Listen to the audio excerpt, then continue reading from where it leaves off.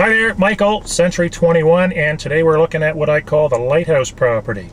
Almost three acres, right next to a lighthouse, right across from a wharf, nice beach, on a bit of a cape, and what I'm going to do is I'm going to show it to you from the wharf side first, and then I'll, uh, I'll travel over to the land and show it to you from that perspective.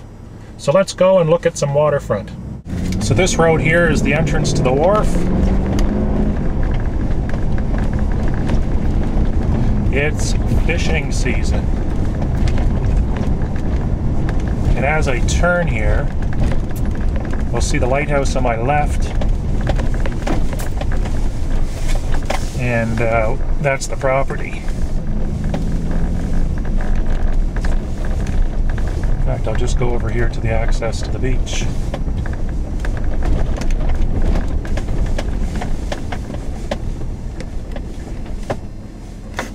So that's her there. And I'll just do a nice quick zoom in. That's basically the property right there, just to the left of the lighthouse. It would run from about there to there.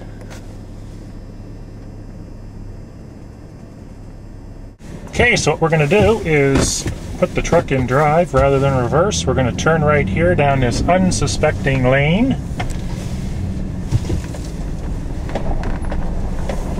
And just down at the end of this road is the uh, the lighthouse property. And the property is just here on the right. You could probably use a haircut.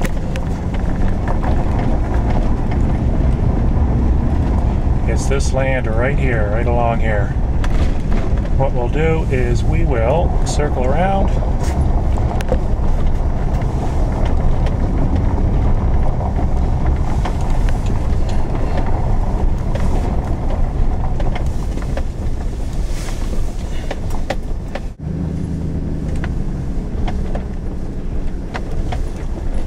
So that's her there, and this is the wharf we just came from here. What a great spot. Imagine yourself sitting on your front deck of your brand new house you built here. Just enjoying the fishing boats coming in and out of the wharf. Constant scenery. People love properties with a wharf nearby. Now I'll show you the bank without falling over the side bit of an incline, but it is a nice beach. And you can always get access to the water from the wharf road I showed you initially.